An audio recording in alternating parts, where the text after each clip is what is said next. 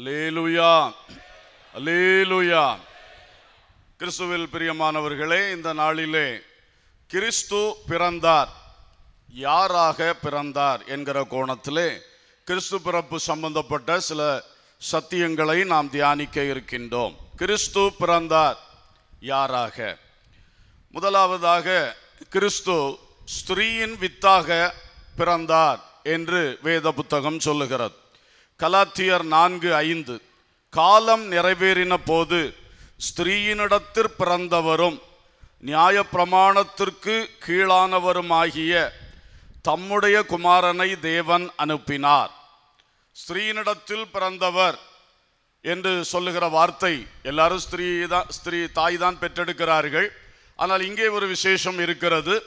இங்கே தகப்பன் என்ற ரோலே இல்லாதபடி பரம தகப்பனின் அதிசயத்தினாலே ஆண்டவர் இயேசு கிறிஸ்து கன்னிகையாயிருந்த மரியாளிடத்தில் உற்பவித்து பிறந்தார் என்பது சிறப்பு.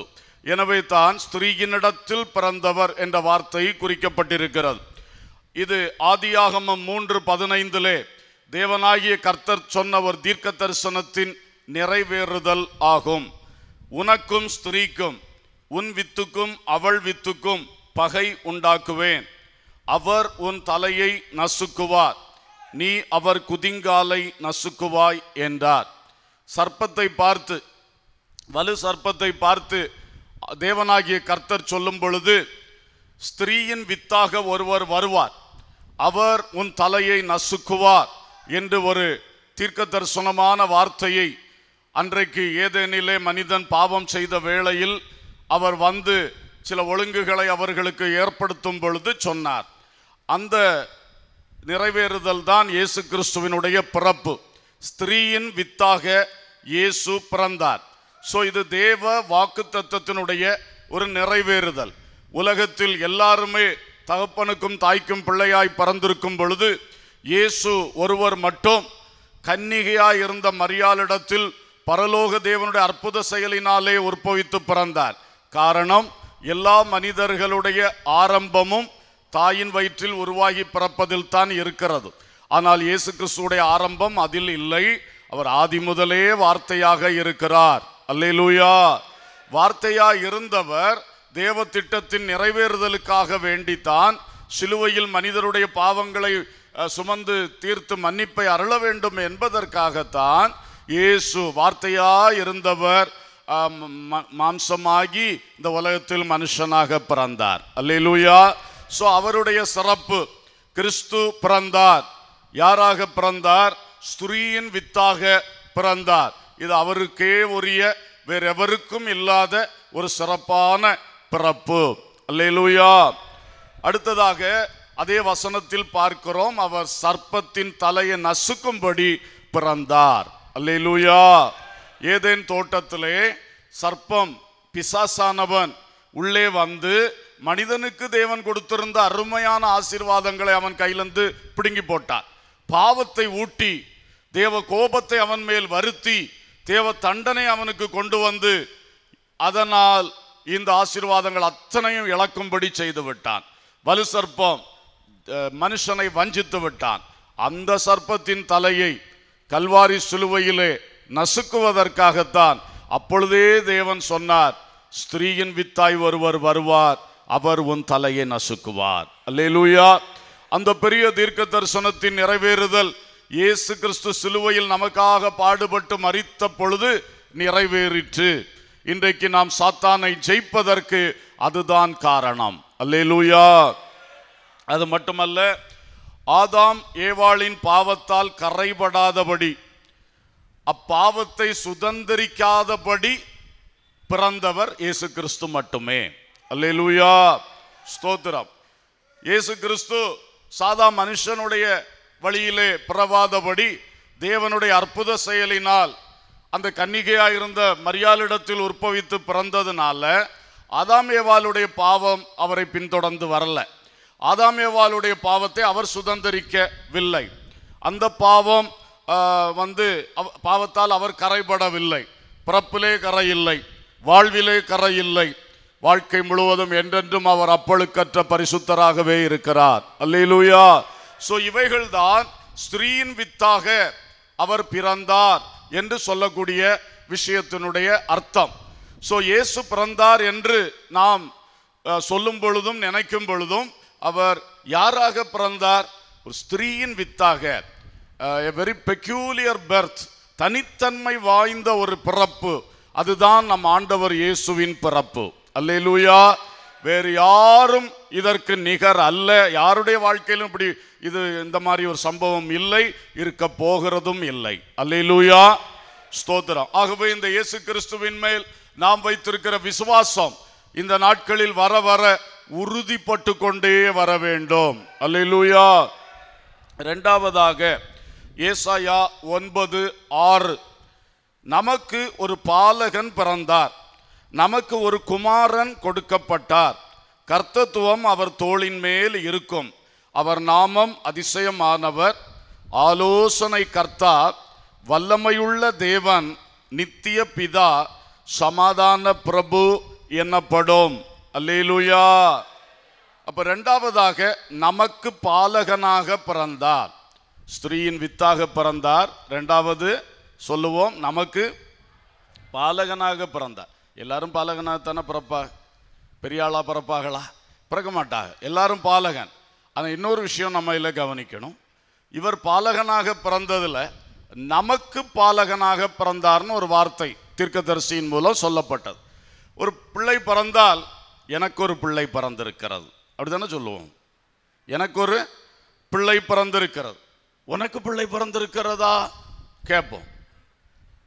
அவருக்கு பிள்ளை பிறந்திருக்கு அவங்களுக்கு பிள்ளை பிறந்திருக்கு. இப்படி ஒரு ஆளை வச்சு தான் சொல்லுவோம் அவங்களுக்கு அந்த குடும்பத்துக்கு. எந்த பாலகனும் ஒரு குடும்பத்துக்கு ஒரு தாய் தகப்பனுக்கு. ஆனால் இந்த பாலகன் நமக்கு பாலகனாக பிறந்தார். அல்லேலூயா! அங்கே தான் இந்த விசேஷம் வருகிறது. பாலகன் பிறந்தார். ஆனால் அதில் உலகமெல்லாம் இதுக்கு சந்தோஷப்படணும். ஆனால் இந்த பாலகன் நமக்காக பிறந்ததுனால உலகத்துக்கே மகிழ்ச்சி மனுக்குலத்துக்கே மகிழ்ச்சி. அல்லேலூயா. இவர் நம் ஒவ்வொருவருக்கும் சொந்த பாலனாக பிறந்திருக்கிறார். ஒவ்வொரு குடும்பத்துக்கும் அவர் ஒரு பாலனாக பிறந்திருக்கிறார்.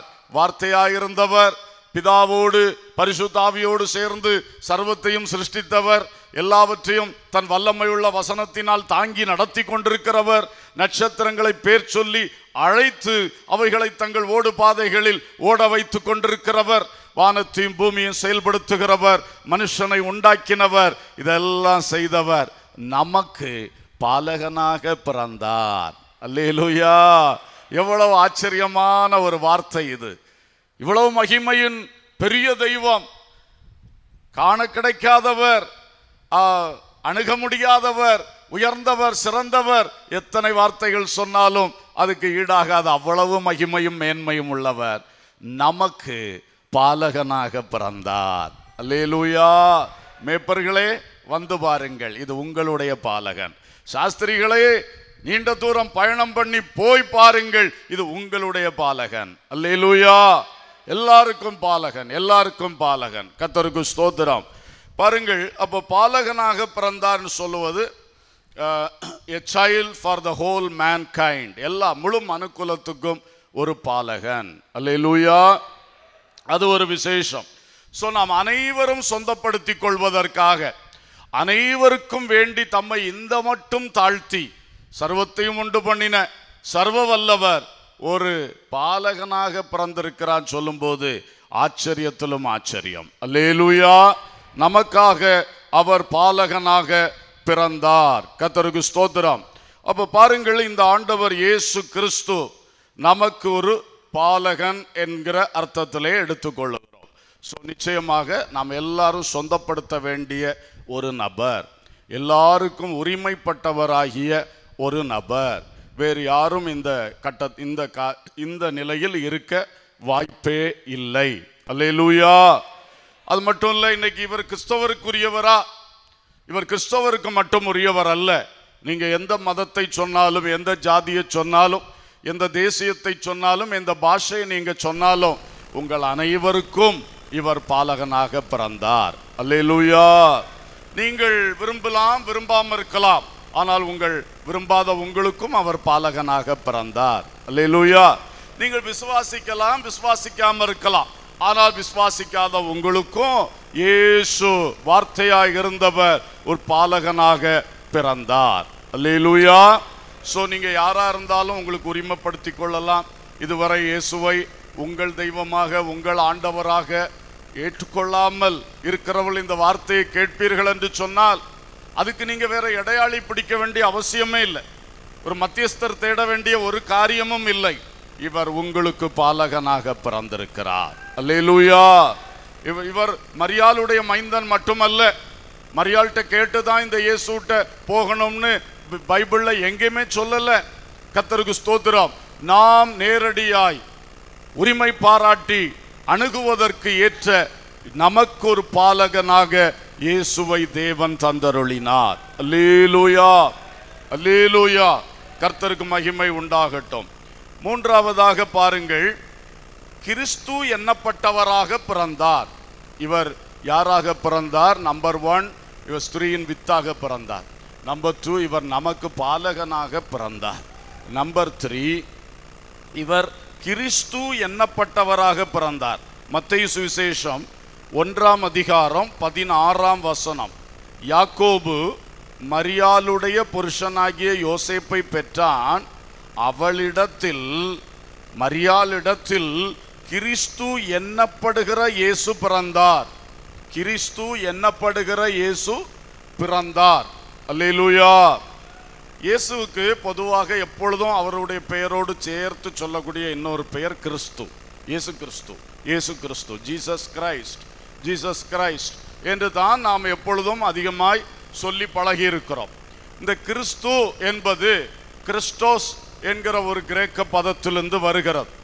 இதனுடைய அர்த்தம் the anointed one the anointed one அபிஷேகிக்கப்பட்டவர்.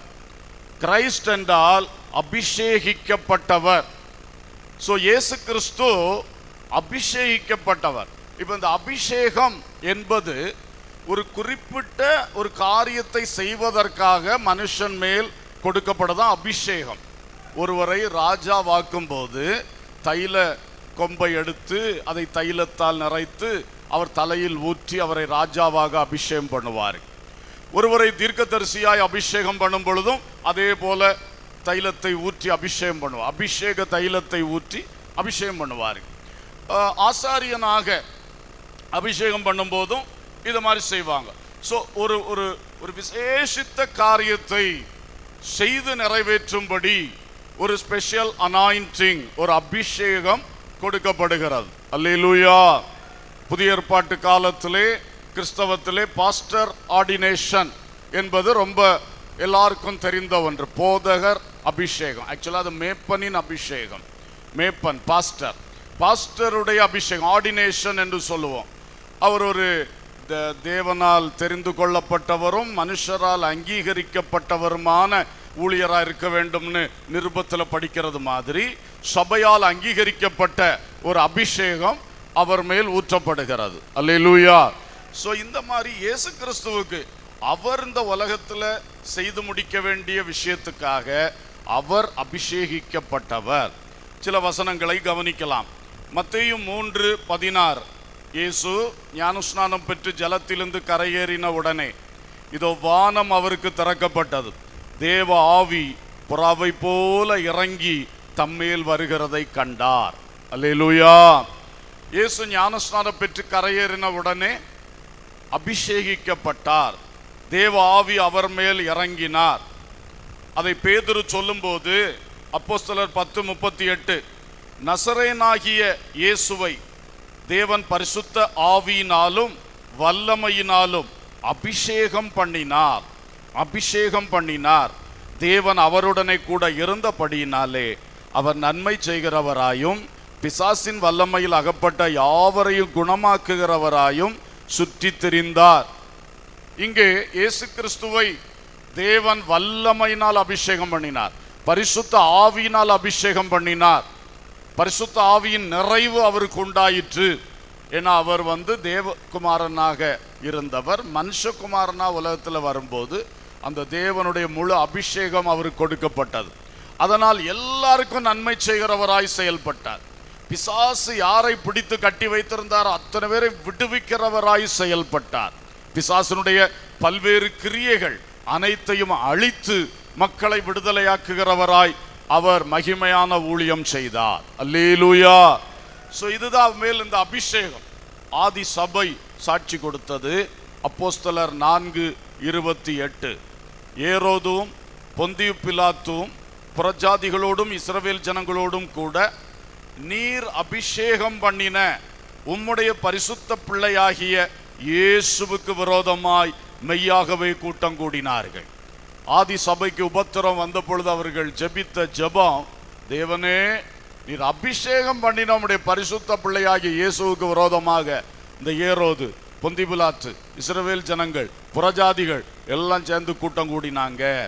என்று ஜெபித்தார்கள். அல்லேலூயா. சோ ஆதி சபையாருக்கு இந்த சத்தியம் தெரிந்திருந்தது.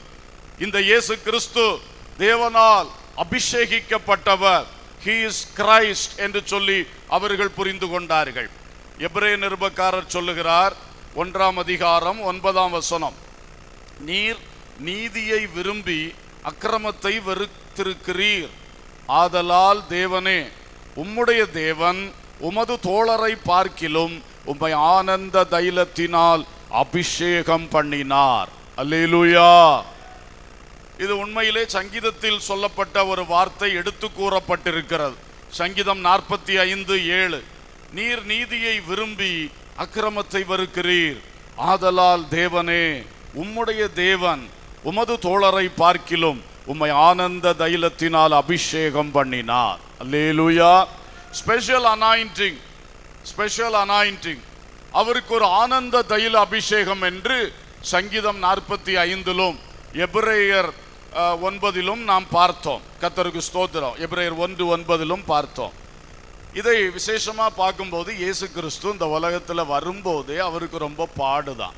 ஆனால் பரலோகத்தில் இருந்தவர் பூலோகத்திலேருந்து வாழணும்னாலே பாடல்லவா?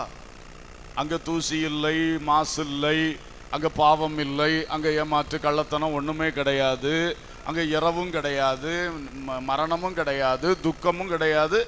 ஒன்றுமே இல்லாத பரலூர் ராஜ்யத்தில் மகிமை நிறைந்த கர்த்தராக இருந்தவர். திடீர்னு இது அத்தனை வேதனையும் துன்பமும் நிறைந்த ஒரு பூமிக்குள்ளே வந்து ஒரு பாலகனாக பிறந்து முப்பத்தி மூன்றரை ஆண்டுகள் இந்த உலகத்தில் மனுஷனாக வாழணும்னா நீங்கள் நினச்சி பாருங்கள் இது லேஸ்பட்ட காரியமா? வாழ்வே தியாகம். சிலுவை மட்டுமல்ல சிலுவை அவர் தியாகத்தின் உச்சக்கட்டம். ஆனால் அவர் பிறந்ததே தியாகம் வாழ்ந்ததே தியாகம். அல்லேலூயா. அவர் பிறந்ததே சுய வெறுப்பு. அவர் வாழ்ந்ததே அவருடைய சுய வெறுப்பின் வெளிப்பாடு. தன்னைத்தான் வெறுத்து தன்னுடைய சகல மேன்மைகளையும் வெறுமையாக்கி வைத்துவிட்டு பாடு சகிக்கும்படிக்கே இந்த பிசாசால் வஞ்சிக்கப்பட்ட மக்களை காப்பாற்றும்படிக்கு இயேசு வந்தார். அல்லேலூயா. அப்ப நிறைய பாடு சகிக்கணும்னா ஆனந்த தைல அபிஷேகம் வேணும். இல்லைன்னா சோர்ந்து தளர்ந்து அஹ், தோல்வி அடைந்து போவார் தோல்வி அடைந்து போவார்கள். அப்ப அதனால தேவன் ஒரு பெரிய அனாயிண்டிங் அவருக்கு கொடுத்துருக்கிறார். பெரிய அபிஷேகம் கொடுத்துருக்கிறார். எல்லாவித கஷ்ட நஷ்டங்களை எல்லாவித அஹ், ஏற்ற தாழ்வுகளை எல்லாவித பாடுகளை துன்பங்களை நிந்தைகளை துரோகங்களை அனைத்தையும் அனுபவித்தோம். அவர் உள்ளே மகிழ்ச்சியோடு இருக்கத்தக்கதாய். அல்லேலூயா. எபிரேயர்ல பனிரெண்டாம் அதிகாரம் இரண்டாம் வசனத்தில் சொல்லி இருக்கிறது அவர் தமக்கு முன் வைக்கப்பட்டிருந்த சந்தோஷத்தின் பொருட்டு அவமானத்தை எண்ணாமல் சிலுவையை சகித்தார். இந்த சிலுவை பாட சகிக்கும் பொழுது அவருக்குள்ளே ஒரு ஆனந்த தைலம் அபிஷேகம் என்ன? வரப்போகிற சந்தோஷத்தை நினைவு கூர்ந்தார். அல்லேலூயா. இன்றைக்கு நமக்கு இது ஒரு பெரிய பாடமாக இருக்கிறது. இயேசுவுக்கு இருந்த அளவுக்கு பாடுகள் நமக்கு இல்லாவிட்டாலும் நமக்கும் பாடுகள் இருக்கின்றன. இந்த பாடுகள் ஒவ்வொன்றின் நடுவிலும் இயேசு பரிசுத்த ஆவியினால் நிரப்பப்பட்டது போல நமக்கும் புதிய ஏற்பாட்டு விசுவாசிகளாகிய நமக்கும் பரிசுத்த ஆவியின் அபிஷேகத்தை தந்திருக்கிறார். அல்லூயா இயேசு கொடுக்கப்பட்டது போல இயேசுவின் பின்னடியார்கள் சீஷர்களாகிய நமக்கும் தந்திருக்கிறார். ஒருவேளை இயேசு அதை முழுமையுமா பயன்படுத்தினார்? நமக்கு அந்த அளவுக்கு முடியல. நம்ம செய்யலை. நம்ம பரிசுத்தாவியானவரை எந்த அளவுக்கு நம்ம பயன்படுத்துகிறோம் பரிசுத்தாவியானவருக்கு எந்த அளவுக்கு கீழ்ப்படுகிறோம்? பரிசுத்தாவியானோட சத்தம் எந்த அளவுக்கு கேட்டு அவர் சித்தத்தை செய்கிறோம்? அதிலெல்லாம் ரொம்ப குறைவாக இருக்கிறோம். அதனால அவருடைய கிரியைகளும் குறைவாக இருக்கு. புரியுதா உங்களுக்கு? ஆனால் இயேசுவுக்கு அது நிறைவாக இருந்தது கிரியைகளும் நிறைவாக இருந்தது. அல்லையிலூயா அவர் போட்டிருந்த வஸ்திரத்தில் கூட பரிசுத்தாவியனோட வல்லமை வியாபரித்து கொண்டே இருந்தது. அல்லேலூயா. அதை தொட்ட ஒருத்தி பனிரெண்டு வருட பெரும்பாடு நோயிலிருந்து சுகம் பெற்றாள். அல்லேலூயா. அதான் அந்த நிறைவு நிரம்பி வழிகின்ற ஒரு அனுபவத்தில் அபிஷேகிக்கப்பட்ட கிறிஸ்து இந்த உலகத்தில் வாழ்ந்தார். அல்லேலூயா. சிலுவையை நமக்காக சகித்தார். அவருக்காக அல்ல. நான் தப்பு செய்து போட்டேன். தண்டிக்கிறார்கள். சரி சகிப்போம். தப்பு செய்துட்டேன்ல? சகிப்போம். அப்படி அல்ல. ஒரு தப்பும் செய்யாதவர். ஒரு கரை திரை ஒட்டாதவர். அவர் இந்த பாடுகள் எல்லாம் பட்டது அவர் செய்த தப்புக்காக அல்ல. நாம் எல்லாரும் செய்த தப்புக்காக. அல்லேலூயா. அப்ப அதையும் சகிக்கக்கூடிய அளவுக்கு அவருக்குள் அந்த அபிஷேகத்தின் வல்லமை. So our he was preordained and anointed by the Father God பிதாவாகிய தேவனால் முன் குறிக்கப்பட்டு அபிஷேகிக்கப்பட்ட கிறிஸ்து அந்த கிறிஸ்துவாக அவர் வந்து பிறந்தார். அல்லேலூயா. தேவ பிள்ளைகளே இதிலிருந்து நாம கற்றுக்கொள்ளுகிறது அந்த கிறிஸ்து தான் நம்மில் வாசமாக இருக்கிறார் ஆமென். அவருடைய பரிசுத்த ஆவியின் மூலம் பிதாவோடும் கிறிஸ்துவோடும் நமக்கு நெருங்கின ஐக்கியம் இருக்கிறது. ஆகையினாலே நமக்கும் குடும்பத்துக்குள்ளே வீட்டுக்குள்ளே வெளியிலே வேலை ஸ்தலத்திலே எங்கே பிரச்சனை வந்தாலும் உடனே துவண்டு போகக்கூடாது. நம்மையிலும் அபிஷேகம் இருக்கிறது. திடன் கொண்டு செய்ய வேண்டிய விதத்தில் கர்த்தரு பிரியமான வழியில் செயல்பட்டு ஜெயம் பெற வேண்டும். அல்லேலூயா. ஆபத்து காலத்தில் நீ சோர்ந்து போவாயானால் உன் பலன் குன்றினது என்று பைபிள் சொல்லுது. ஆபத்தும் நெருக்கமும் மனுஷனுக்கு இருக்கிறது இருக்கிறது. ஆனா அதுல சோர்ந்து போகாமல் இந்த ஆனந்த தைல அபிஷேகத்தோடு எழுந்து நிற்கும் போது அது பலன். ஹலலூயா தொடர்ந்துள்ள வாழ்நாளுக்கு அது பலன். ஹalleluya சோர்ந்து போவாயானால் அடுத்தவனுடைய எதிர்காலத்தில் அது தாக்கத்தை கொடுக்குமே. வளர வேண்டி நீ வளர முடியாது. சாதிக்க வேண்டி நீ சாதிக்க முடியாது. அதான் சோர்வு செய்கிற வேலை. ஸ்தோத்திரம். கர்த்தருக்குள் மகிழ்ச்சியா இருப்பதே நம்முடைய பலன். பலன். இது ரெண்டுமே வசனம். ஆபத்து காலத்தில் சோர்ந்து போவாயானால் உன் பலன் குன்றினது. கர்த்தருக்குள் மகிழ்ச்சியா இருப்பதே நம்முடைய பலன். அப்ப அந்த மகிழ்ச்சி உள்ள இருக்கிறது உள்ளான மனுஷனுக்கும் சரீரத்துக்குமே ஒரு பலன். அல்லேலூயா மன மகிழ்ச்சி நல்ல ஔஷதம். ஔஷதம்னா மருந்து. மன மகிழ்ச்சி ஒரு நல்ல மருந்து என்று பைபிள் சொல்லுகிறது. ஸோ மன மகிழ்ச்சி. அப்போ எனக்கு கஷ்டமும் நஷ்டம் வந்தா எப்படி ஐயா மகிழ்ச்சியா இருப்பது? அதுதான் உன்னுடைய அபிஷேகம். அல்லேலூயா அபிஷேகம் இல்லாதவர்கள் வெறும் மாம்சத்துக்குரியவர்கள் கஷ்டம் வந்தா அவங்களால நிக்க முடியாது. ஆனால் இந்த அபிஷேகம் பரிசுத்த ஆவி நமக்குள் இருக்கும் பொழுது அத்திமரம் துளிர் விடாமல் போனாலும் சரி ஓ நேரம் இல்லை. ஸ்தோத்திரம். அத்திமரம் துளிர் விடாமல் போனாலும் திராட்சை செடியில் பலன் இல்லாமல் போனாலும் கிடையிலே மந்தைகள் முதலற்று போனாலும் தொழுவத்திலே மாடுகள் இல்லாமல் போனாலும் நான் கர்த்தருக்குள் மகிழ்ச்சியாயிருப்பேன். அல்லேலூயா. ஆபகு பரிசுத்த ஆவியின் வல்லமை பெற்றவன் தீர்க்கதரிசி.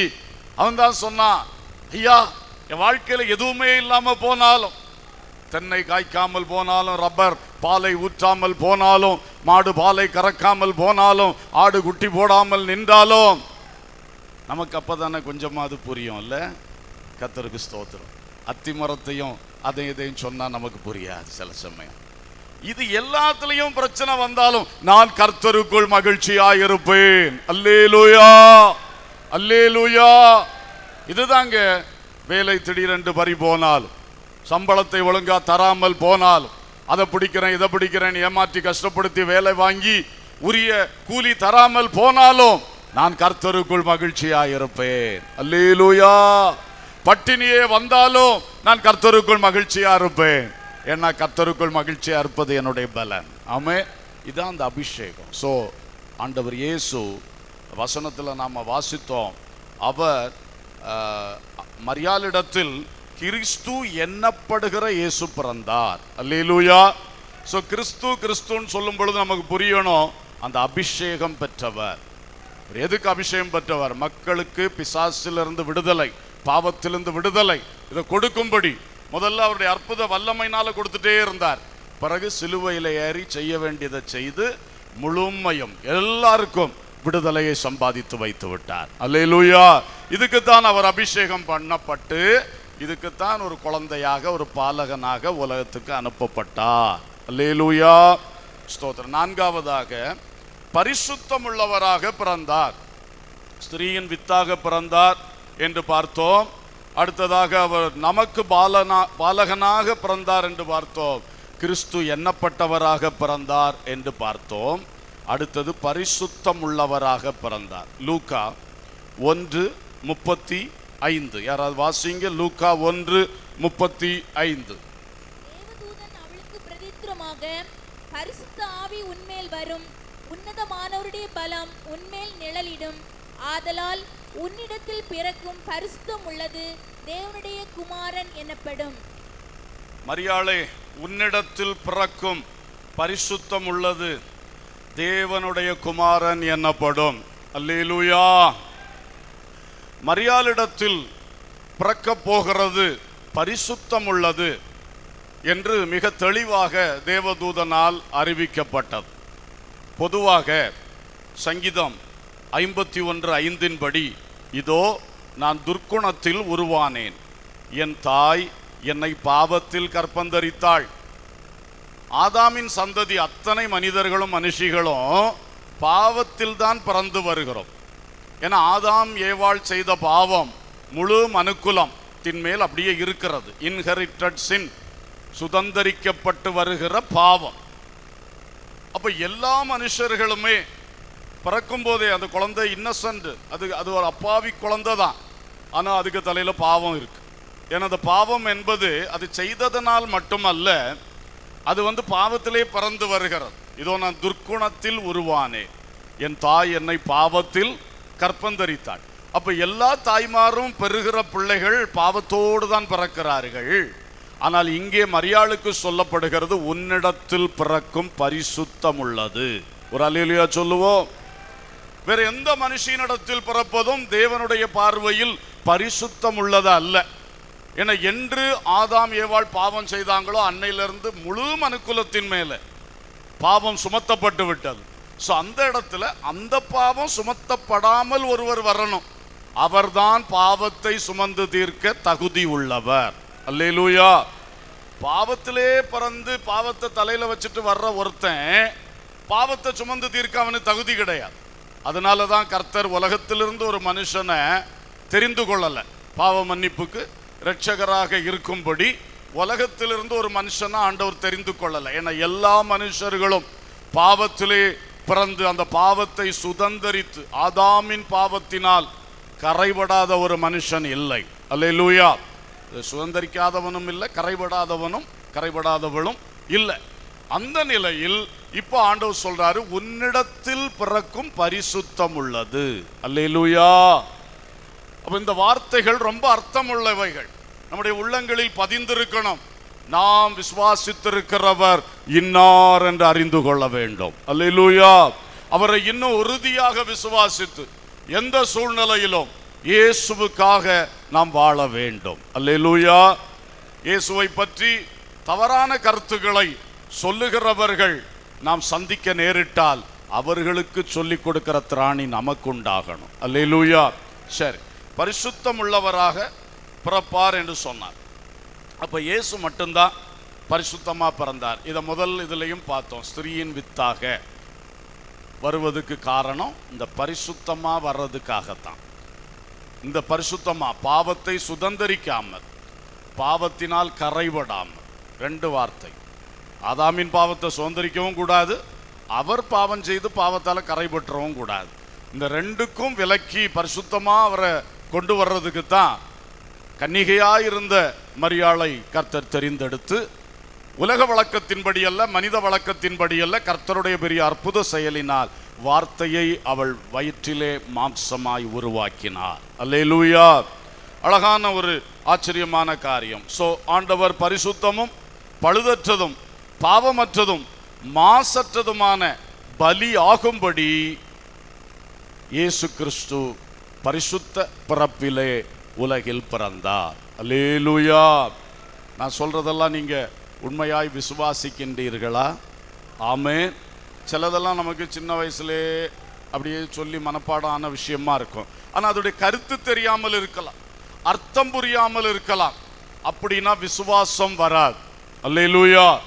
அந்த வார்த்தை நமக்குள் வந்து அந்த வார்த்தை நம்மில் தங்கி இருந்து அதனுடைய அர்த்தம் நமக்கு புரியும் போது தான் அது விசுவாசமாக வளரும். அல்லேலூயா அந்த விசுவாசம் வந்தால் நாம் எப் எப்பொழுதும் கிறிஸ்துவுக்காய் பிழைப்போம். ஆமேன் ஸோ இங்கே நாம் பார்க்கிறோம்.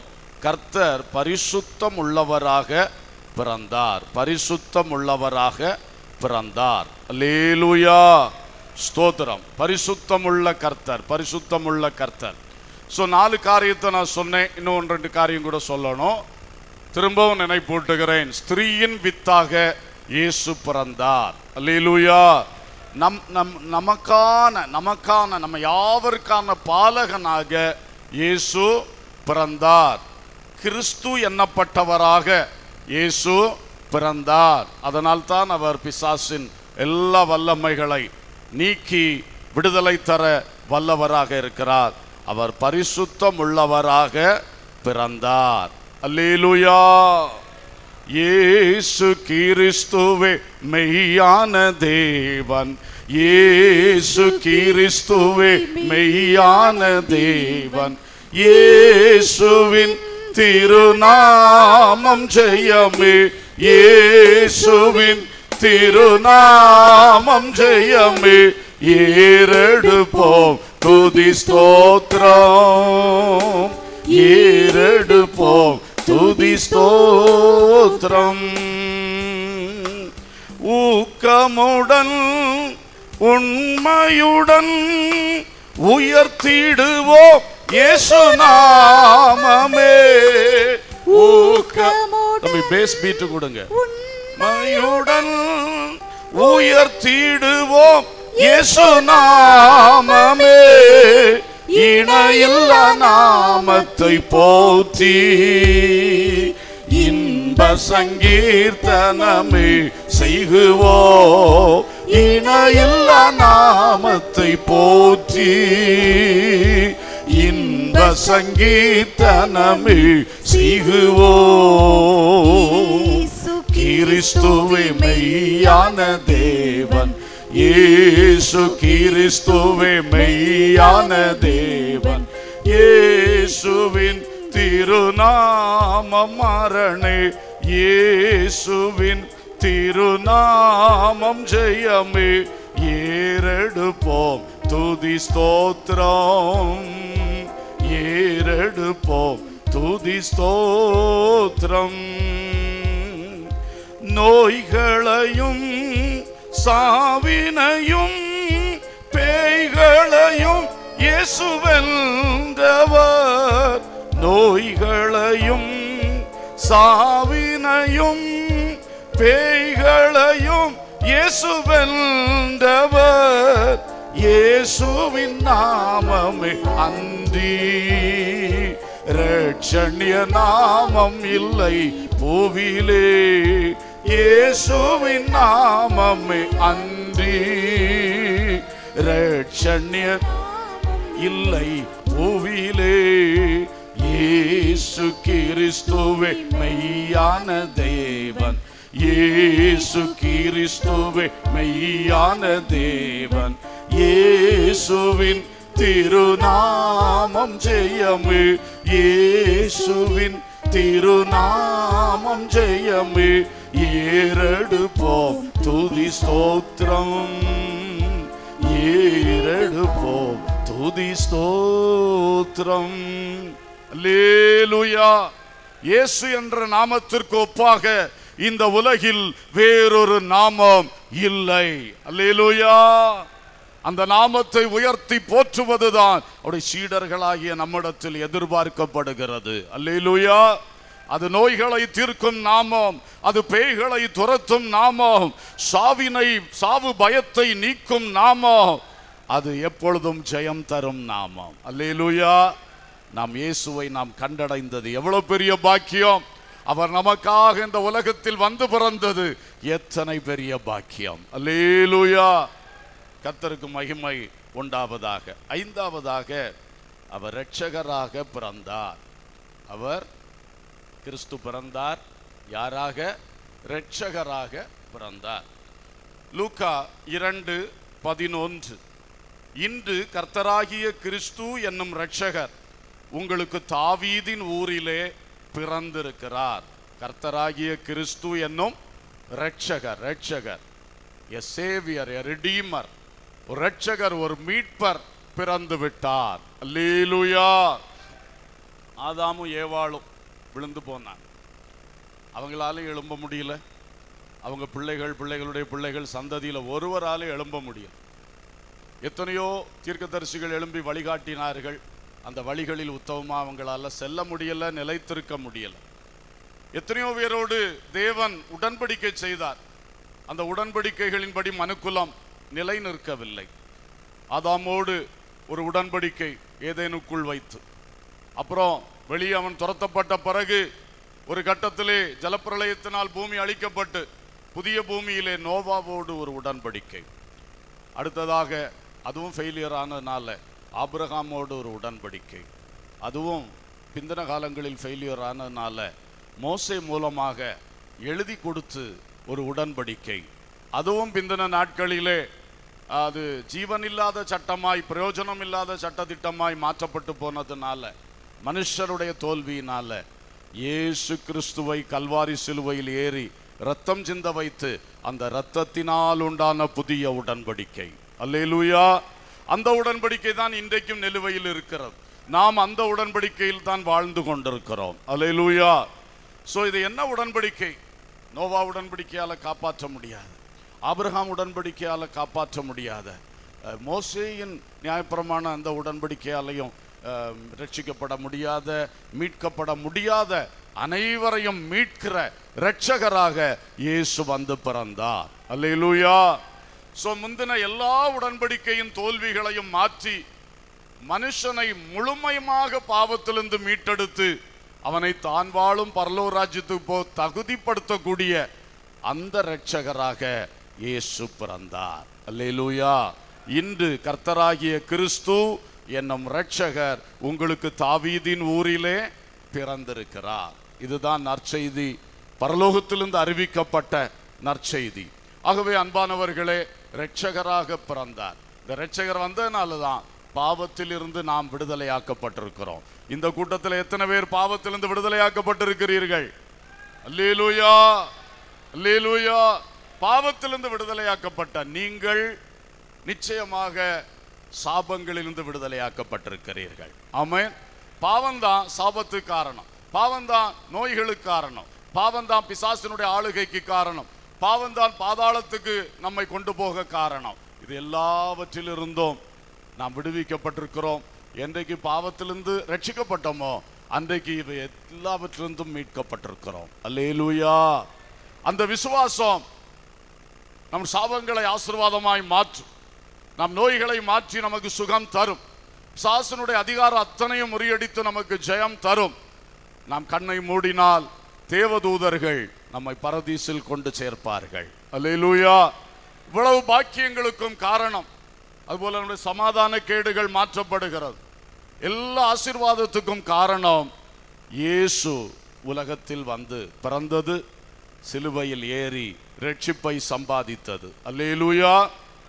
ஆகவே நம்முடைய இரட்சகர் இயேசு கிறிஸ்து. ஆறாவதாக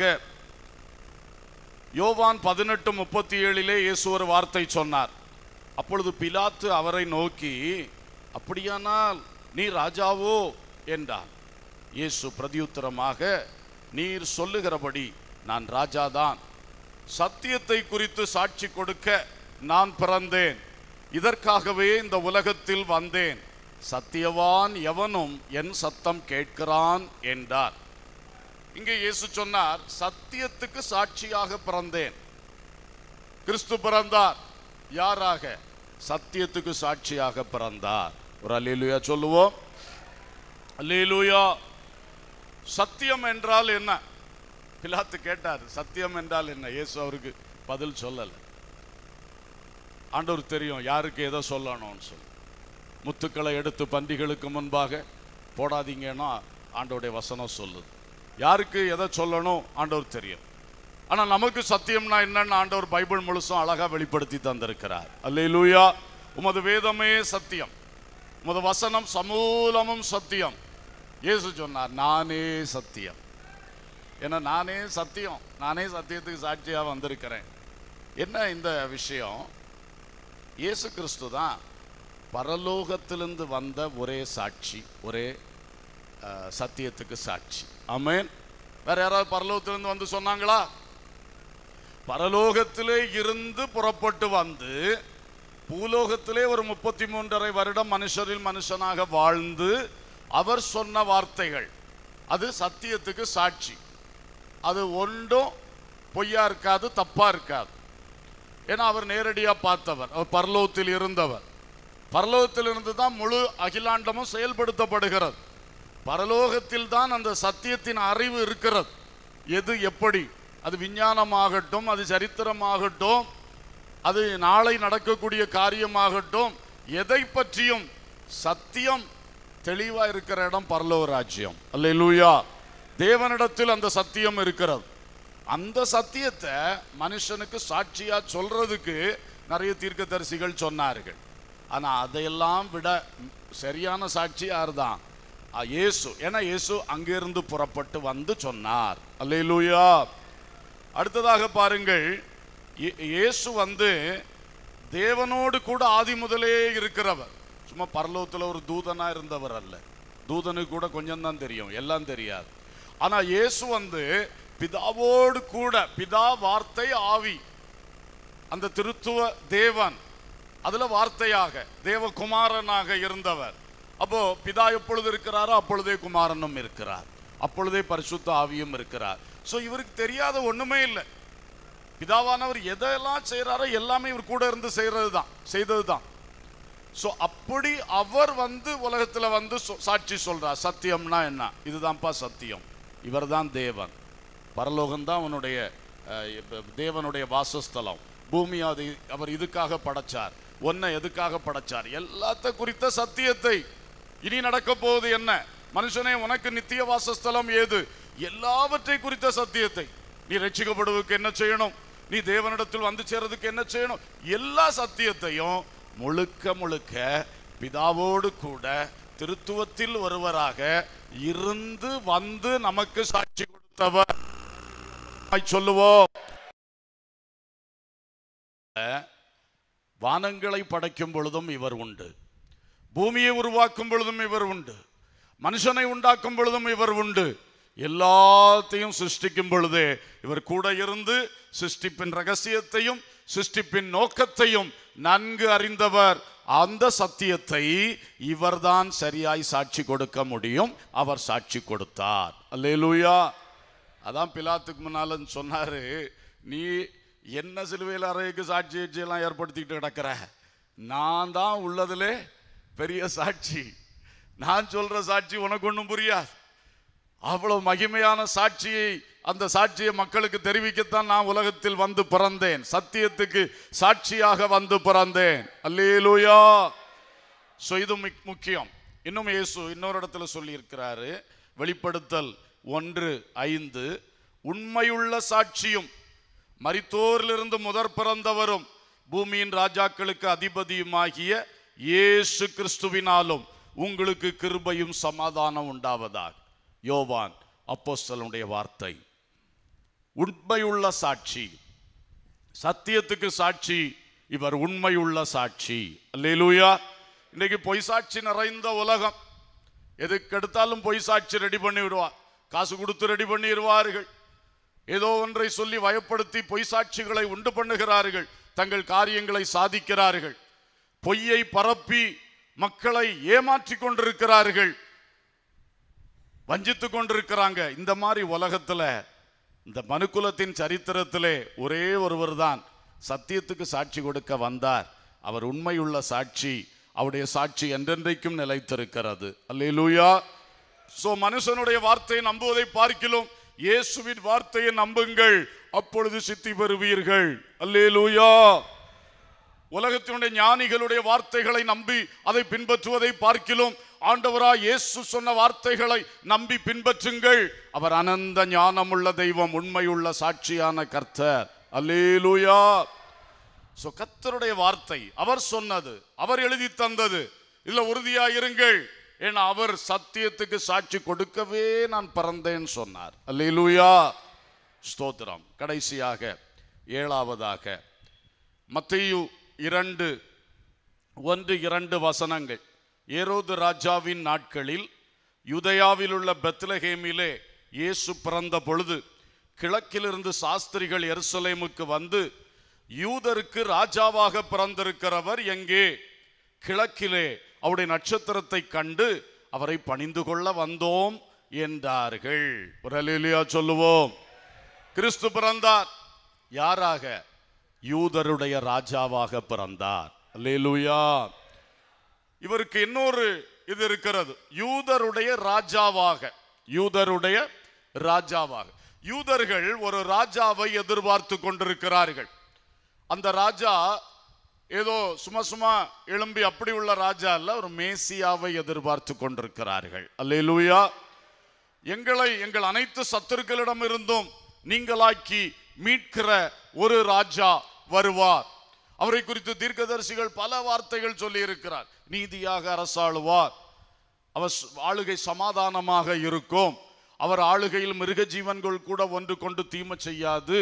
இப்படியெல்லாம் நிறைய தீர்க்க தரிசன வசனங்கள் இருக்கிறது. இதெல்லாம் யூதர்களுக்கு தெரியும். அவர்கள் யூதருடைய ராஜா எப்பொழுது வருவார் என்று எதிர்பார்த்து கொண்டிருக்கிறார்கள்.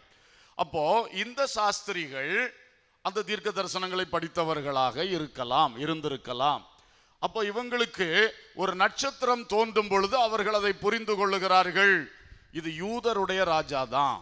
அவங்களுக்கு நிறைய விஷயங்கள் அவரோட ராஜா எதிர்பார்த்து கொண்டிருக்கிறாங்க என்று சொல்லி அவர்கள் தேடி வருகிறார்கள். அல்லையிலூயா சோ இயேசு கிறிஸ்து ராஜாவாக பிறந்தார் என்று சொல்லப்பட்டிருக்கிறது.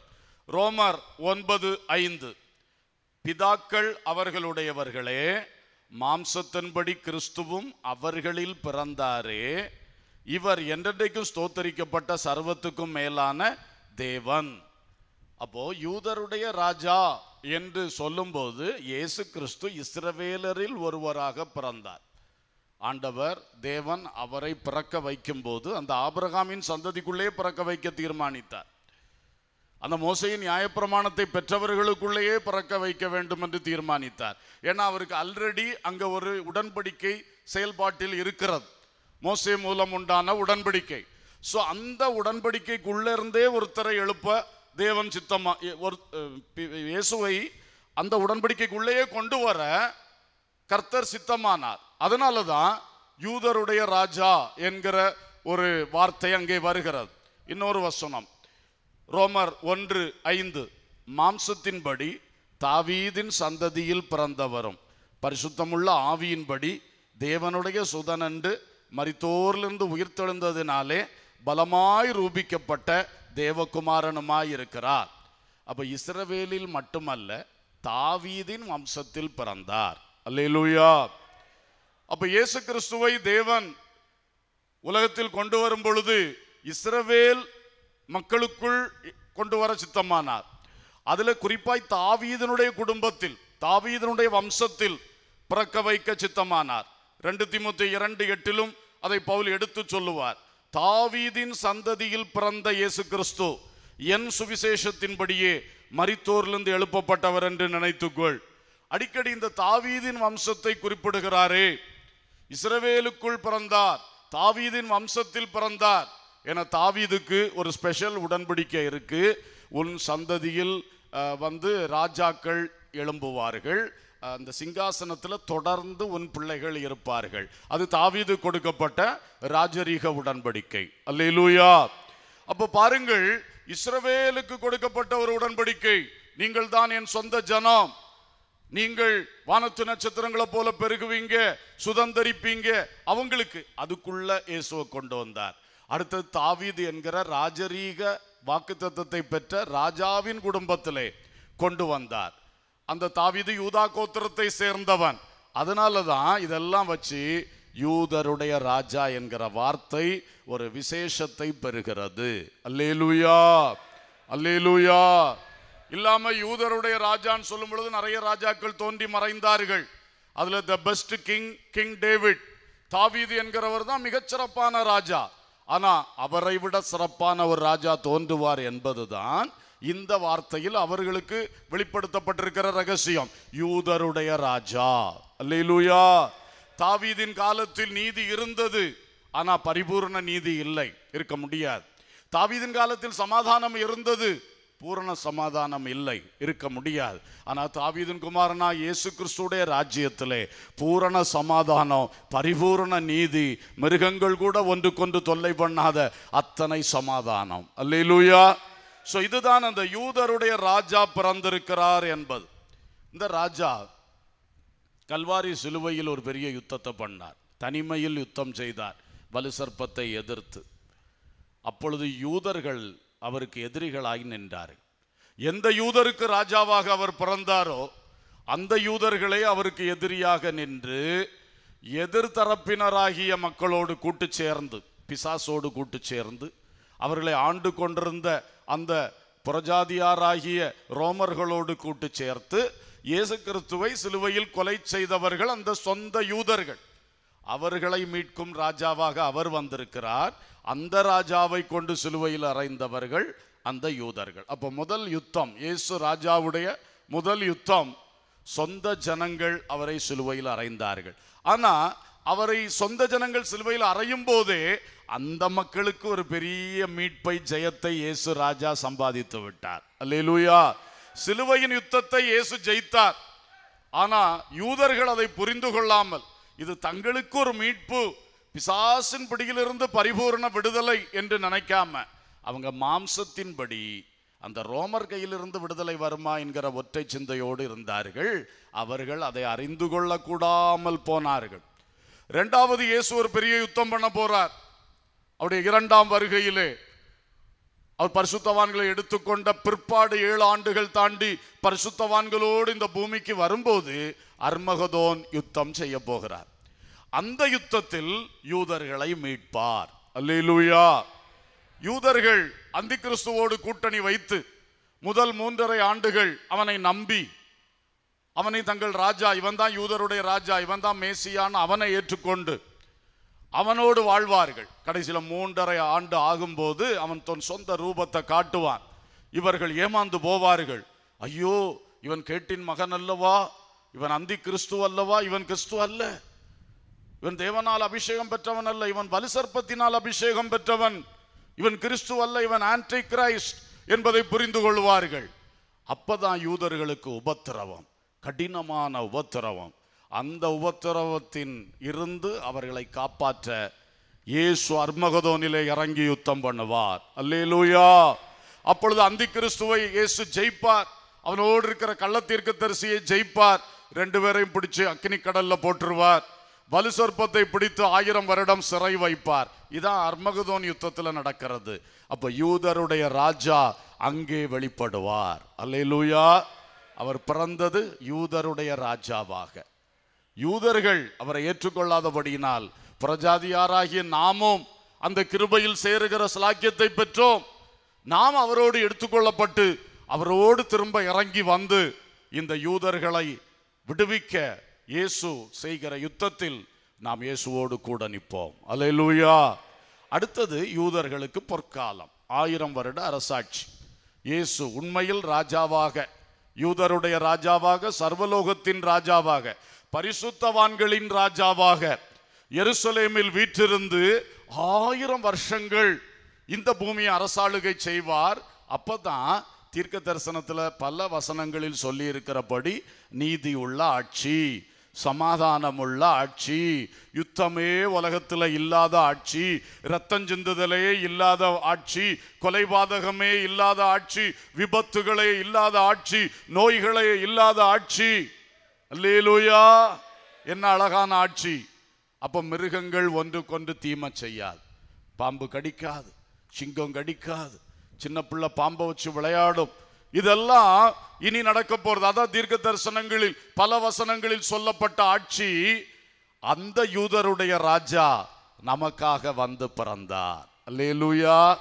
அதான் சாஸ்திரிகள் பார்க்கிறார்கள் எத்தனையோ ராஜாக்கள் உலகத்தில் பிறப்பார்கள் போவார்கள். அது விசேஷம் அல்ல. இந்த யூதருடைய ராஜா இவர் விசேஷித்தவர் இவர் மேசியா இவரை காண வந்தோம். அல்லேலூயா. அப்புறம் ஆயிரம் வருஷ அரசாட்சி முடியும் போது ஒரு யுத்தம் நடக்கும். இயேசு கிறிஸ்துவன் செய்ய போற மூன்றாவது யுத்தம். ஏன்னா இந்த ஆயிரம் வருஷம் சிறை வைத்த இந்த வலுசற்பத்தை திறந்து விடுவார். அவன் உடனே ஜனங்களை கூட்டி இயேசுவுக்கு எதிராக எழும்பி எருசலேமை முற்றுகையிட்டு அவன் வந்து விடுவான் யுத்தத்திற்கு. எருசலேம் யுத்தம். முதல்ல கல்வார் யுத்தம் அடுத்து அர்மகதோன் யுத்தம் அடுத்தது எருசலேம் யுத்தம்.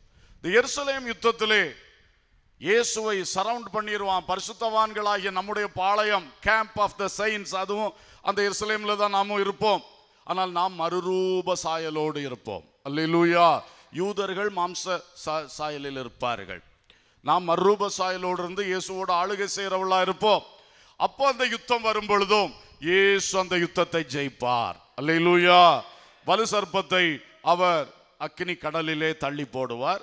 பிறகு நித்திய நியாய தீர்ப்பு புதிய வானம் புதிய பூமி நம்மை புதிய எருசலேமில் குடியேற்றுவிப்பார் லீலுயா அப்போ பாருங்க யூதருடைய ராஜா என்று இந்த பைபிளில் முக்கியப்படுத்தப்பட்டிருக்கிற காரணம் வெறும் அக்கால யூதர்களை ரோமரிடத்திலிருந்து விடுவிக்க எழும்புகிற ராஜா அல்ல. அவங்க அப்படி நினைச்சு தான் அதை இழந்து போனாங்க. இவர் சர்வலோகத்தின் ராஜா யூதருக்கு சதாகாலமும் ராஜா. அவரை விசுவாசிக்கிற பிள்ளைகளாகிய மணவாட்டி கூட்டமாகிய நமக்கு என்றென்றைக்கும் அவர் ராஜா. அல்லேலூயா. அப்படிப்பட்ட ஒரு யூதருடைய ராஜா பிறந்திருக்கிறார். ஸோ இயேசு கிறிஸ்துவுடைய பிறப்பிலே ஏழு காரியங்கள் சொல்லப்பட்டதை நாம் இன்றைக்கு நாம் தேவ ஆவியின் உதவியால் தியானித்தோம். ஆண்டவர் இயேசு நம்மில் மகிமைப்படுவாராக. தாவீதின் குமாரனாக யூதருக்கு ராஜாவாக இயேசு பிறந்தார். கண்களை மூடி கர்த்தரை நோக்கி ஒரு ஐந்து நிமிடங்கள் ஸ்தோத்திரம் செலுத்தி ஜெபித்து நாம் சத்தியத்தை அறிவீர்கள். சத்தியம் உங்களை விடுதலையாக்கும். அதனால் இந்த சத்தியத்தை ஒன்று கூட நம்முடைய உள்ளத்தில் எடுத்து நான் சொல்லுகிற சில காரியங்களை கொஞ்சம் அறிக்கை பண்ணி நீங்கள் ஜெபம் பண்ண வேண்டும். எல்லாரும் கண்களை மூடுவோம். ஹாலை லூயா முழங்கால் படியிடுவோம் கண்களை மூடுவோம் கர்த்தரை நோக்கி பார்ப்போம். இயேசு உங்கள் இதயங்களில் மேன்மைப்படுவாராக. நமக்காக உலகத்தில் வந்து பிறந்த இயேசு இன்று பகல் வேளை விசுவாசிகளாகிய நாம் ஒவ்வொருவருடைய உள்ளத்திலும் மேன்மை உள்ளவராய் எழுந்து நிற்பாராக. ஹலை லூயா ஹலை லூயா இந்த ஆண்டவராய் இயேசு கிறிஸ்து ஆமேன். நமக்காக ஸ்திரீயின் வித்தாய் வந்தவர். ஒரு வார்த்தை சொல்லி ஸ்தோத்திரம் பண்ணுங்க. ஆண்டவரே நாங்கெல்லாம் வித்தியாசமா வந்திருக்கிறோம். நீங்க ஒருவர் மட்டும். ஆமென். ஸ்திரீயின் வித்தாக வந்திருக்கிறீங்க. நாங்கெல்லாம் புருஷ சித்தத்தில் பிறந்தவர்கள் புருஷனுடைய வித்தாய் பிறந்தவர்கள். நீர் ஒருவர் மாத்திரம் ஸ்திரீயின் வித்தாய் வந்தவர். நீர் மகிமைக்குரியவர் மேன்மைக்குரியவர். வாய் திறந்து வாய் திறந்து சத்தியத்தை அறிக்கை பண்ணுங்கள். சத்தியம் உங்களுக்குள் ஆமென் வர வர உங்களுக்கு பல விடுதலை உண்டாகும். பயத்திலிருந்து விடுதலை அறியாமையிலிருந்து விடுதலை அவிசுவாசத்திலிருந்து விடுதலை. ஹalleluya மரண பயத்திலிருந்து விடுதலை. இம்மைக்குரிய சகல தீமைகளிலிருந்து உங்களுக்கு விடுதலை. சத்தியத்தையும் அறிவீர்கள். சத்தியம் உங்களை விடுதலையாக்கும். என் இயேசு ஸ்திரீயின் வித்தாய் வந்தவர். ஹalleluya அவர் ஒருவரே தெய்வம். அவர் ஒருவரே பின்பற்றத்தக்கவர். அவர் ஒருவரே ஆமேன் தெய்வமா ஏற்றுக்கொள்ளத்தக்கவர். ஹலலூயா நமக்கு பாலகனாக பிறந்தவர் நமக்கு பாலகனாய். சர்வலோகத்தில் உள்ள மக்களுக்கும் உரிமைப்பட்டவர் உரிமைப்பட்டவர். என் இயேசுவே நான் ஒரு புறஜாதி தான் ஆனால் நீர் எனக்கு உரிமைப்பட்டவர். நீர் எனக்கு உரிமைப்பட்டவர். ஹalleluya ஒரு வார்த்தை சொல்லுங்க. அந்த வார்த்தையை சொல்லுங்க. இயேசுவே நான் ஒரு புறஜாதி தான்ப்பா ஆனால் நீர் எனக்கு முழுமையும் உரிமைப்பட்டவர். நீர் எனக்கு முழுமையும் உரிமைப்பட்டவர். தைரியத்தோடு உம்மிடத்தில் பேசுவேன். தைரியம் நிச்சயமாக உம்மடத்தில் கிட்டி சேருவேன். ஆமேன். ஹலை லூயா நீர் எனக்குரியவர் நீர் எனக்குரியவர். ஹலை லூயா ஹலை லூயா ஹலை லூயா ஆமேன். இயேசு கிறிஸ்து எண்ணப்பட்டவர் கிறிஸ்து எண்ணப்பட்டவர் என்ன மகிமையான அபிஷேகம் என்ன மகிமையான அபிஷேகம். அந்த அபிஷேகத்தை தான் எனக்குள்ளேயும் தந்திருக்கிறீங்க. அந்த அபிஷேகத்தை நான் அனுபவிக்கும்படி எனக்கு கிருபை செய்யும். அந்த அபிஷேகத்தை நான் அனுபவிக்கணும் நான் அனுபவிக்கணும். பிசாசு பிசாசின் கட்டுகள் முழுவதும் உடையணும். பிசாசுடைய தந்திரங்கள் முழுவதும் அபத்தமாகி போகணும். நோய்கள் குணமாகணும். நோய்கள் குணமாகணும். அந்த அபிஷேகத்தை நான் முழுசும் அனுபவிக்க எனக்கு கிருப தாங்கப்பா.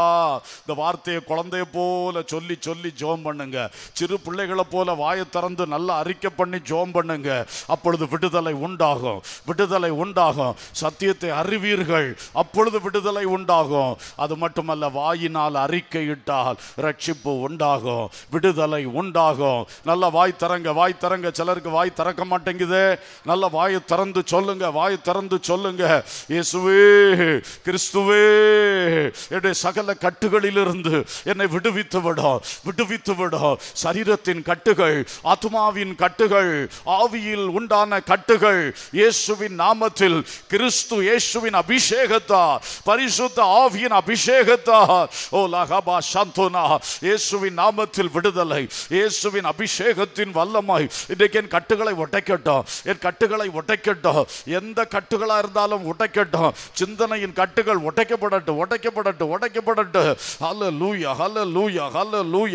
hallelujah praise God praise God பரிசுத்தமுள்ளவராக பிறந்தவரே. நீர் ஒருவரே பரிசுத்தமுள்ளவராக பிறந்தவர். நாங்கள் எல்லாரும் பாவத்தில் உற்பத்தியானவர்கள். நீர் ஒருவரே பரிசுத்தமுள்ளவராய் பிறந்தவர். நீர் ஒருவரே ரட்சகராக தகுதி பெற்றவர். நீர் ஒருவரே தேவனா தேவகுமாரன் என்கிற தகுதி பெற்றவர். நீர் ஒருவரே மேசியா.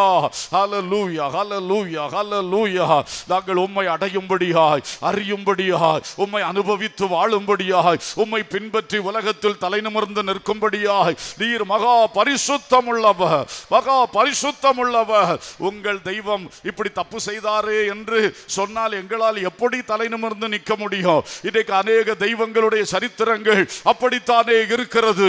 ஆனால் என் இயேசுவை பின்பற்றுகிற நான் எந்த இடத்திலும் தலை நிமிர்ந்து நிற்க முடியும். ஏனென்றால் என் இயேசு பரிசுத்தம் உள்ளவராக பிறந்தவர். என் இயேசு பரிசுத்தராய் தன்னை காத்து கொண்டவர் ஓலா ஷகுரா தீன ஹந்துனா ரபாலாஷி. ஹalleluya ஹalleluya. ரட்சகராக வந்தி. என்னை ரட்சித்து பாவத்திலிருந்து ரட்சித்து நோய்களிலிருந்து விடுதலையாக்கினு பேயின் அதிகாரத்திலிருந்து விடுதலையாக்கினு ஓ சாபங்களிலிருந்து விடுதலையாக்கினு சமாதான கேட்டிலிருந்து விடுதலையாக்கினு பாதாளம் செல்ல வேண்டிய என்னை அக்கினி கடலுக்கு போக வேண்டிய என்னை அங்கிருந்து விடுதலையாக்கினீரப்பா ஓலா ரபா லகுதரா என் ரட்சகரே என் ரட்சகரே நீர் வாழ்க. என் ரட்சகரே உடைய ரட்சிப்பை நான் சுதந்திரித்துக் கொள்ளும்படி முடிவு பரியந்தம் நிலை நிற்கிறவனே ரட்சிக்கப்படுவான் என்ற வார்த்தையின் வார்த்தையின்படி இந்த ரட்சிப்பை காத்து நடக்க ரட்சண்யம் என்றும் தலைச்சீராவை அணிந்து நடக்க கிருபை ஊற்றும் கிருபை ஊற்றும் கிருபை ஊற்றும். சத்தியத்துக்கு சாட்சியாக பிறந்தவரே இன்னைக்கு உலகத்தில் எத்தனை பொய்கள் எத்தனை மாய்மாலங்கள் எத்தனை ஏமாற்றுகள் எத்தனை வஞ்சக வார்த்தைகள்.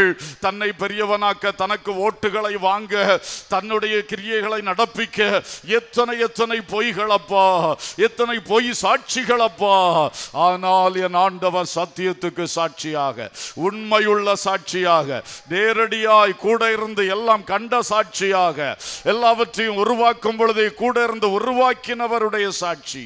ஹalleluya அந்த சாட்சியாகிய வேதத்தை கையில் இந்த கிருபை தந்தீரே ஸ்தோத்ரா அந்த சாட்சியாகிய வசனங்களை கற்று ஆமீன் அதன்படி நடக்க கிருபை செய்கிறீரே ஸ்தோத்ரா அநேகர் மதம் மதம் என்று சொல்லி எதையோ நம்பி கடைசியிலே ஏமாந்து போவார்களே. ஆனால் நாங்களோ மதம் என்றல்ல. எங்கள் இயேசு என்கிற சத்தியத்தை நம்பி அந்த சத்தியத்தை கை கொண்டு உம்மை பின்பற்றி வருகிறோம். நாங்கள் ஒருபொழுதும் ஏமாற்றம் அடைய மாட்டோம். நாங்கள் ஒருபொழுதும் கைவிடப்பட மாட்டோம்.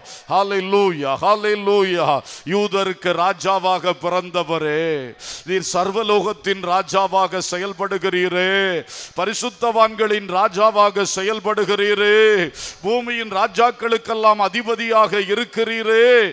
தாவிது சொல்வது போல நீர் என்னுடைய ராஜா நீர் என்னை ஆட்கொண்ட தெய்வம் என்னை ஆட்கொண்ட என் ஆளுகை செய்கிற ராஜா.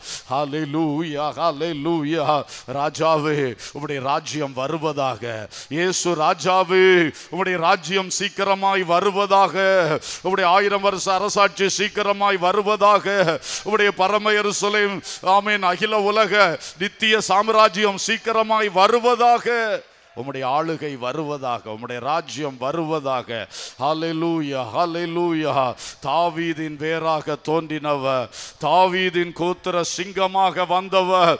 தாவீதின் குமாரனாக வந்தவர். உம்மை போற்றுகிறோம். உன் ராஜரீகத்தை நாங்கள் மகிமைப்படுத்துகிறோம். ஹலலூயா ஹalleluya தாவீது கோத்திர சிங்கமாய் வந்து சாந்தத்தால் எம்மை கவர்ந்து கொண்டாரி தாவிது கோத்திர சிங்கமாய் வந்தும் சாந்த தலைமை கவர்ந்து கொண்டாரி. தாழ்மையான ஆட்டுக்குட்டியுடனே தாழ்மையான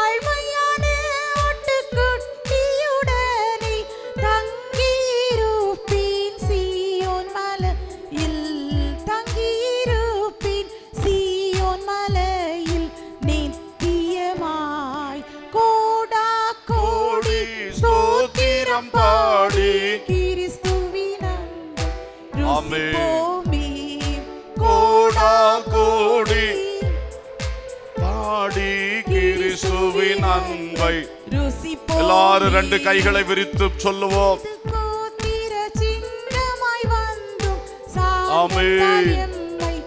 எவ்வளவு கம்பீரமானவர். ஆனால் சாந்தமான ஆட்டுக்குட்டியை போல என்னை கவர்ந்து கொண்டவரே கவர்ந்து கொண்டாரே. தாழ்மையான ஆட்டுக்குட்டியுடனே தாழ்மையான ஆட்டுக்குட்டியுடனே தங்கியிருப்பேன் சீயோன் மலையில் தங்கியிருப்பேன். சீயோன் மலையில் நித்தியமாய் கோடா கோடி. ஸ்தோத்திரம் கிறிஸ்துவின் அன்பை ருசிப்போமே. நாம் கோடா கோடி.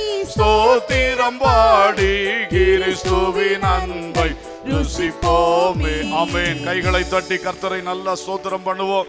என் இயேசு எத்தனை மகிமைக்குரியவர். என் இயேசு எத்தனை மேன்மைக்குரியவர். நான் உண்மை பின்பற்றுகிறது சாதா விஷயம் அல்ல. நான் அந்த ரகசியங்களை அறிய அறிய என் உள்ளம் பூரிக்கிறது. எத்தனை மகிமை எத்தனை மகிமை. இந்த பேதையான எனக்கு வெளிப்படுத்தினீரே. ஆமையின் ஆமை இந்த பாவியாயிருந்த எனக்கு வெளிப்படுத்தினீரே. என்னை மீட்டெடுத்தீரே. என்னை உன் பிள்ளையாய் மாற்றினீரே. உன் சீடனாய் மாற்றினீரே. உம் ஆவி வாழும் ஆலயமா என் சரீரத்தை மாற்றினீரே. எத்தனை மகிமை எத்தனை மகிமை. ஓ ஹல லூயா ஹல லூயா ஹல லூயா உமக்காக உமக்காக இறுதி மூச்சு வரை உமக்கு பிரியமாக உமக்கு ஏற்றவனாக ஏற்றவளாக. வாழும்படியான கிருபை ஊற்றுமையா. எங்கள் குறைகளை எங்களை விட்டு மாற்றுமையா. இந்த மகிமை உள்ள ராஜாவுக்கு ஏற்ற பிரஜைகளாய் காணப்படணுமே. ஹalleluya ஹalleluya ஹalleluya லூயா வாழ்விலே சீர்திருத்தங்கள் வரட்டும் அப்பா வாழ்விலே தோல்விகள் ஜெயமாய் மாறட்டும் அப்பா குறைகள் நிறைவாகட்டும் ஐயா. எல்லா குற்றம் குறைவுகள் எங்களை விட்டு ஓடட்டும் ஐயா. நல்ல சிந்தனை உயர்ந்த சிந்தனை எங்களுக்கு தாரும் ஐயா. தீழ்ப்பானவைகளை சிந்திக்காமல் அற்பமானவைகளை தேடிக்கொண்டிராதபடி அழிந்து போகிறவைகள் மேல் ஆசைப்படாதபடி என் தகப்பனே இந்த மகிமையுள்ள இயேசுவுக்காக வாழும்படியா கிருபை தாரும் கிருபை தாரும் கிருபை தாரும். ஹாலே லூயா ஹாலே லூயா ஆமேன். நல்ல பிதாவே நாங்கள் உம்மை துதிக்கிறோம் வாழ்த்துகிறோம். உமது குமாரன் இயேசு கிறிஸ்துவை எங்களுக்கு ராஜாதி ராஜாவாக இரட்சகராக எல்லாவற்றுக்கும் எல்லாமாக அனுப்பி தந்த தயவுக்காய் ஸ்தோத்திரம். சொந்த குமாரனையே உலகத்தில் ஈந்தருளி இத்தனை பாடுகளுக்கு உட்படுத்தி எங்களை மீட்டு உம் பிள்ளைகளாய் மாற்றி உம்மிடத்தில் கொண்டு செல்ல வேண்டும் என்கிற அந்த தியாகம் எத்தனை ப- மகிமையான தியாகம். அதெல்லாம் அனுபவித்து அது அந்த அதை பெற்று அனுபவித்துக் கொண்டிருக்கிற நாங்கள் அதற்கு ஆகாதவர்களாய் போய்விடாதபடி. இதோ தாழ்த்தி மறுபடியும் குயவனின் கையில் களிமண்ணைப் போல எங்களை அர்ப்பணித்து நிற்கிறோம். அர்ப்பணித்து நிற்கிறோம். எங்களை தெரிந்து கொண்ட நோக்கம் இந்த வருஷத்தில் எந்த அளவுக்கு நிறைவேறினது? எந்த பகுதியில் நிறைவேறாமல் போனது? இந்த வருஷத்தின் இறுதி பகுதியில் இன்னும் துரிதமாய் கிரிய செய்யுங்க ஆவியானவரே. இன்னும் துரிதமாய் கிரிய செய்யுங்க ஆவியானவரே. இந்த வருஷத்தின் கடைசி பகுதியில் உலக சந்தோஷத்தை தேடி அல்ல உன்னதத்தின் மகிழ்ச்சியை தேடி நித்திய மகிழ்ச்சியை தேடி உம் பாதம் காத்திருந்து உம் முகம் நோக்கி பார்க்க உம் வேதம் படிக்க எங்களுக்கு கிருபை தாரும் கிருபை தாரும். உருவாக்கும் உருவாக்கும் உருவாக்கும் உருவாக்கும் தகப்பனே. உம் சாயலில் எங்களை உருவாக்கும் தகப்பனே. உம் வருகையில் உம்மை சந்திக்க தகுதி படுத்தும் தகப்பனே. அந்த சிந்தையினால் எல்லா உள்ளங்களை நிரப்பும் ஆவியானவரே. இயேசு எங்கள் இதயங்களில் எப்பொழுதும் மேன்மைப்படுத்தும். பரிசுத்த ஆவியானவர் இயேசுவை நம்மில் மகிமைப்படுத்துவார் என்ற வசனத்தின்படி எங்களுக்குள் எப்பொழுதும் இயேசுவை நீங்கள் மகிமைப்படுத்துங்க. ஆசீர்வதியும். தொடர்ந்து கிருபையும் சமாதானம் பாதுகாவலும் ஒவ்வொருவர் மேலும் இருப்பதாக துதி கனம் மகிமை உமக்கே செலுத்துகிறோம். இயேசுவின் நாமத்தில் கேட்கிறோம். ஜீவனுள்ள பிதாவே ஆமேன். என் ஆத்துமாவே கத்தரை ஸ்தோத்ரி. பரிசுத்த நாமத்தை ஸ்தோத்ரி. என் ஆத்துமாவே கத்தரை ஸ்தோத்ரி. அவர் செய்த சகல உபகாரங்களை மறவாதே. ஆமேன். நம்முடைய கத்தராகிய இயேசு கிறிஸ்துவின் கிருபையும் பிதாவாகிய தேவனுடைய அன்பும் பரிசுத்த ஆவியானவுடைய ஐக்கியமும் சிநேகமும் வழி நடத்துதலும் பாதுகாவலும் நம் அனைவரோடும் சகல பரிசுத்தவான்களோடும் சதா காலங்களிலும் இருப்பதாக. ஆமேன். இயேசு கிறிஸ்து மாறாதவரே மாறாதவரே. இயேசு கிறிஸ்து நித்தியம் நித்தியமாய் ஹalleluya ஹalleluya ஹalleluya ஹalleluya ஹalleluya ஹalleluya ஹalleluya ஹalleluya அல்லேலூயா அல்லேலூயா கர்த்தர் உங்களை ஆசீர்வதிப்பாராக Mm-hmm.